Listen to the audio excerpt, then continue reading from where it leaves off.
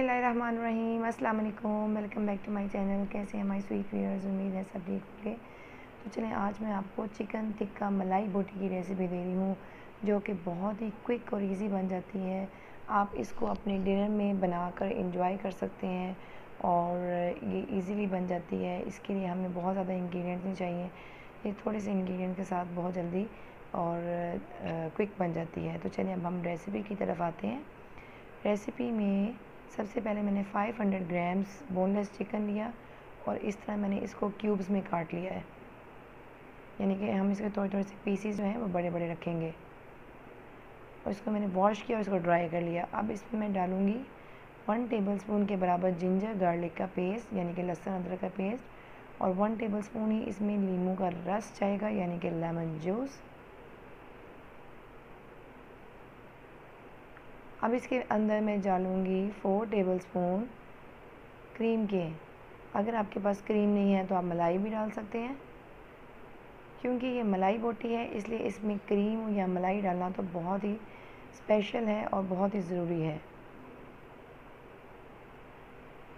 Four table spoon मलाई डालने के बाद मैं फ़ोर टेबल स्पून ही इसके अंदर थिक योगर्ट के डालूँगी, यानी कि दही के।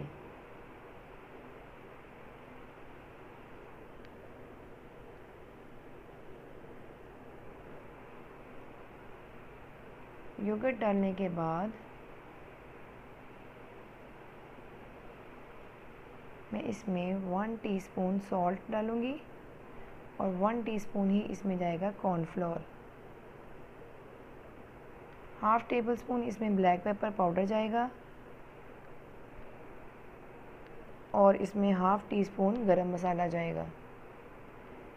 टू टेबल स्पून मैंने इसमें डाला है green coriander plus two green chillies, यानी कि हरा धनिया और दो सब्ज़ मिर्चों को मैंने चॉप कर लिया था। और उनके मैंने पेस्ट बना के टू टेबल स्पून डाले हैं मैंने भर के। इनको मैं अच्छी तरह मिक्स करूँगी।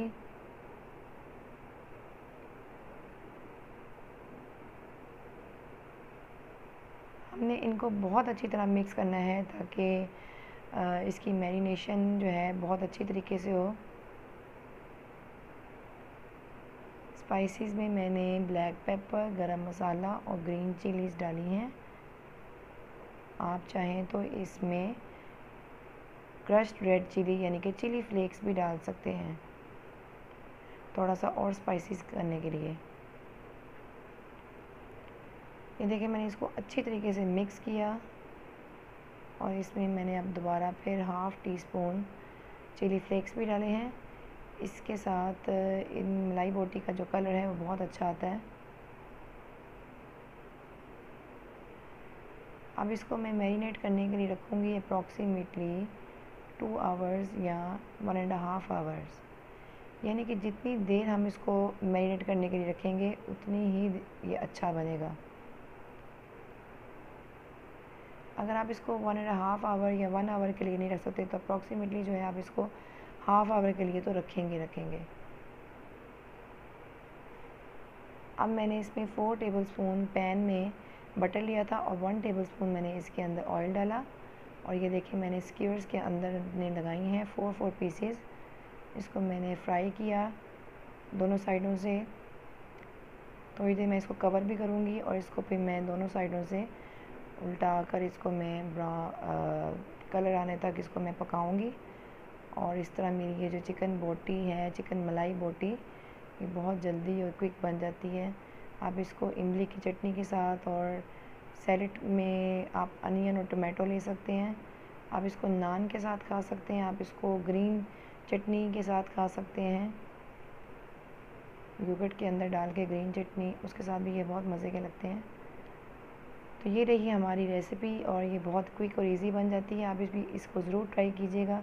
अगर आपको मेरी ये वीडियो अच्छी लगी हो तो आप इसको लाइक करें और मेरे चैनल को सब्सक्राइब करें और मुझे दुआओं में याद रखिएगा। इसी के साथ अल्लाह ताला हम सब का हामी नासे हों। खुदा हाफिज़।